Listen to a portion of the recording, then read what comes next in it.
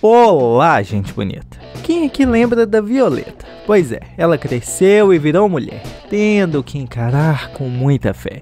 Eu digo isso porque ela parece ter tomado gosto pela coisa da música e seguiu firme e forte na carreira de cantora.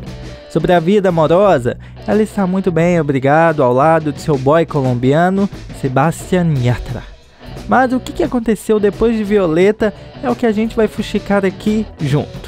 Se você quer saber, é só deixar o seu like antes e vem comigo. Eu sou o Breno e esse é o canal Para os Curiosos. Martina Stossel nasceu em Buenos Aires, na Argentina, em 97. Graças ao pai, Alejandro, que é um famoso produtor de televisão argentino, foi mais fácil para ela encontrar seu lugar ao sol. Em 2007, ela começou na carreira de atriz participando do programa Patinho Feio, que fez muito sucesso local. Em 2011, Martina mostrou que tinha talento também na música, quando cantou uma versão em espanhol da música The Glow, da Shannon Saunders. E para sorte de Martina, nesse mesmo ano ela foi escolhida pela Disney para o papel de Violeta. A série foi ao ar em 2012, numa parceria entre América Latina e Europa.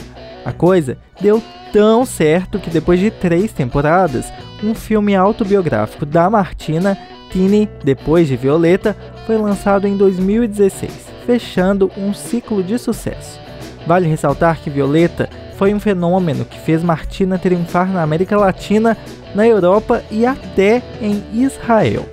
O produtor Daniel Greenbank nem acreditava no que estava acontecendo, porque italianos, poloneses, romenos, holandeses e franceses estavam cantando as músicas de Violeta em espanhol.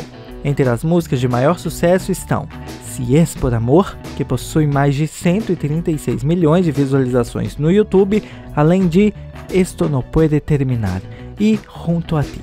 Mas, como o tempo passa para todo mundo, Martina cresceu e se despiu de Violeta para se dedicar à carreira de cantora. Uma das músicas mais recentes é Fresa, em que ela aparece bem desinibida, ao lado do cantor colombiano Lalo Ebrard. Se acredita que em apenas uma semana, o clipe já teve mais de 7 milhões de visualizações no YouTube.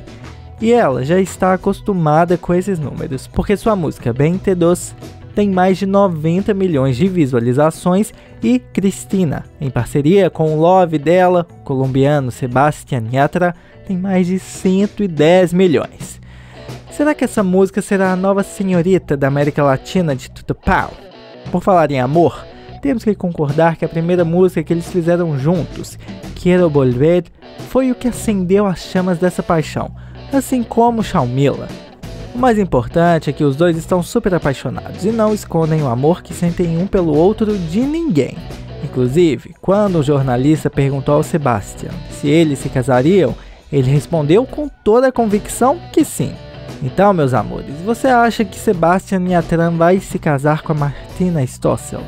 Será que a Violeta ficou realmente no passado? Tô te esperando aqui nos comentários pra gente conversar mais sobre isso. E se você gostou, manda o link do vídeo pra todo mundo assistir. Dá uma dedada no botão do like e se inscreva também. Um beijo e até o próximo vídeo. Tchau!